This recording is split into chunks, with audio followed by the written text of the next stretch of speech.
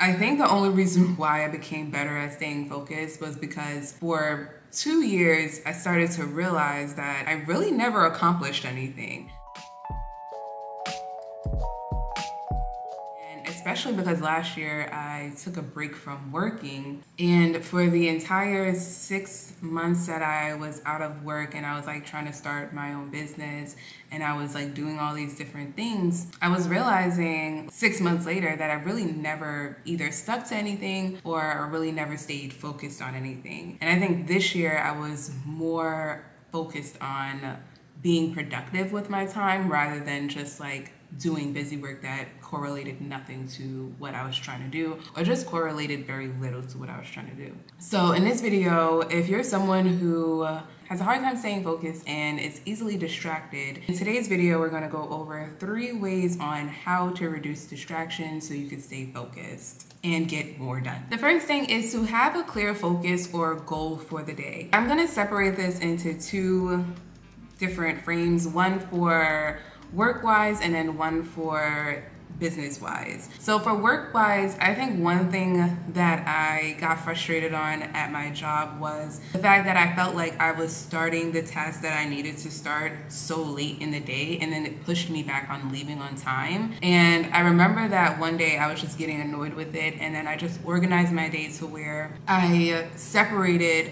what I was allocating time to and then had a goal of when to start the actual work that I needed to get started so that way way I could finish my day on time or close to it. So one thing to do is organize your day into what is a priority to focus on, what is something that you could start but then finish at the end of the day, and what is the things that you really need to get done first. And I think that's really helpful because when we group everything in one and then we go to one thing and then go to another thing and it's like we're just like putting out fires, then at the end of the day we realize that there was two other important tasks that we needed to get, get done that we never ended up touching. So now we end up spending more time working on those when in actuality the thing that we were working on earlier we could have saved for the end of the day or possibly to the next day. So one thing to do is organize what is your clear focus for the day of what is the actual task that you need to get done. So that way that could be your main priority and anything after where it's like something that's mainly not a priority but you still want to get done can get done towards the end of the day. And when it comes to business, one thing that I do now is focus on action forward tasks. A lot of times when I was first like working on creating a business or working on creating my own projects, I spent a lot more time doing research than actually progressing or doing anything. Or I would take like a lot of courses and take notes, but I wasn't actually producing anything. So one thing that I started doing now is if I'm taking a course on something or if I'm learning something new, I try to implement that immediately. So one thing that I started doing was taking a writing course and instead of waiting until I was completely done with the full writing course, I would take a certain part of the writing course and focus on that and then implement that immediately into what I was working on when I had my blog. Another thing that I was doing is if I was working on a course that I purchased on social media or anything like that, I would find ways to implement that immediately so that way I could see what the results are from actually implementing what I'm learning. So if you're someone who tends to overlearn and overthink things, instead of trying to uh, gather all the information, focus on implementing little bits of information. Because the thing is whatever you learned in the beginning if you wait until you learn everything to then implement you're not going to remember what you learned in the beginning. Like you're really not. And then you're going to have to go back and then listen to it again and then it's going to be overwhelming because then you're going to forget what you learned at the end and then now you're repeating the same damn cycle. So one thing to do instead is to just take smaller pieces of whatever you're working on and learning and then implement that immediately into tasks that could produce some type of data or you could get some type of response from it.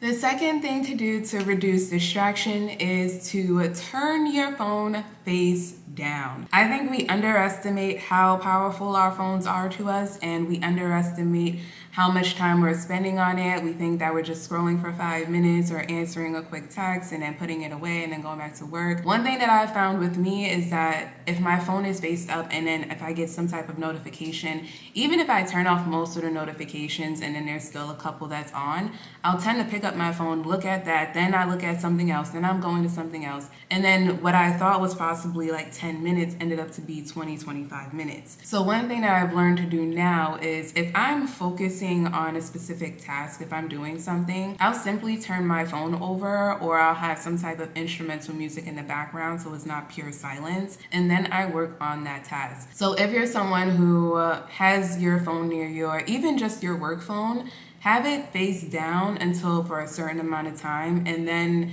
take a look at it if you need to, answer anything that you need to, and then turn it back over. I did some research because I've heard this before and it was saying that it takes 23 minutes to refocus back on what you were focused on. And that 23 minutes could have been allocated to something else that you're doing is now delayed and you regaining your focus on what you're doing rather than just having that flow of working through those 23 minutes and then checking at the end of the time that you allotted of having your phone away.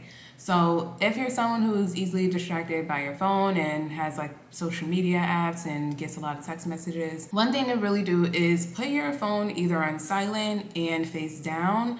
And if you're someone who has to answer your phone, have it on vibrate and have it face down so that way you could focus that time on what you're doing and you don't have to worry about getting distracted you don't have to worry about getting refocused you don't have to worry about figuring out where the hell you left off and then now figure out like how do I restart back up going into your own flow. And another thing that I also actually do is reduce the amount of tabs on my computer. I used to have so many fucking tabs open. I didn't think it was a problem until I realized that I had like four different types of screens, independent Mac screens, and then I had like multiple tabs open and it had me going to one tab to another and then I constantly got flustered on where everything was. So one thing that I also started doing was reducing the amount of tabs that I have open because I know whatever tab is open is the tabs that I need to use at that time and anything else will probably just distract me into something else